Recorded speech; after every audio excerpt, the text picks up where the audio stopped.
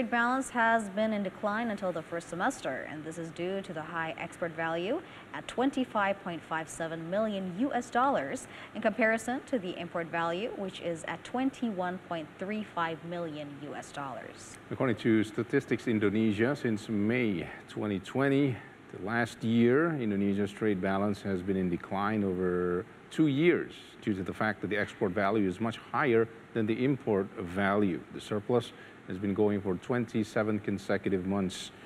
According to Setianto, Deputy of Statistics, Distribution and Services of Statistics Indonesia, the government is in the development of export performance in Indonesia. The total export value in Indonesia for the month of July this year reached 25.57 million US dollars or 32.03% per annum. And export performance went on a decline of 2.2% to accumulate the export value reached 166.7 million US dollars. The government also hopes Indonesia will continue to monitor the decline and for Indonesian export performance to stabilize.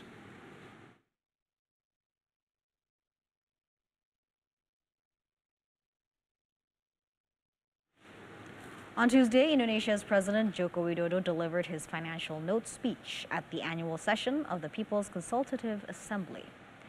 Donning traditional Paksian clothing from Bangka Belitung province, President Widodo delivered his annual state budget speech in the eve of Indonesia's Independence Day.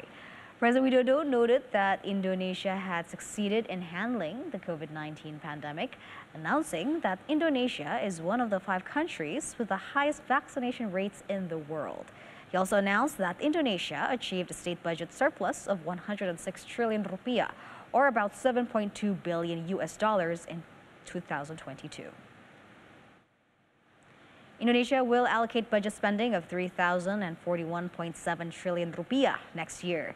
The state budget will be at 2.85% of GDP, below 3% in line with the government mandate stated in law number 2 of 2020.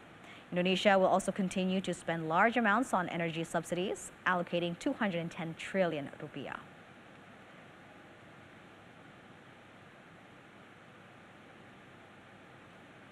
In line with World Bank's projection, Indonesia is projecting economic growth of 5.3% in 2023.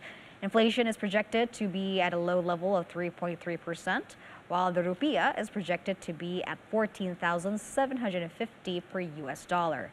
The Indonesian crude price index is projected to be below $100 a barrel, but the oil lifting target is lower than this year at 600 at 660,000 barrels per day.